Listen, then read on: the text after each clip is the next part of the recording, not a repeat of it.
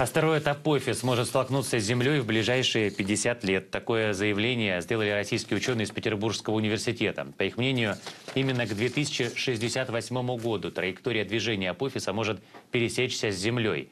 Также ученые сообщили, что уже в 2029 небесное тело пройдет на опасно близком расстоянии от нашей планеты, примерно в 10 раз ближе, чем находится Луна.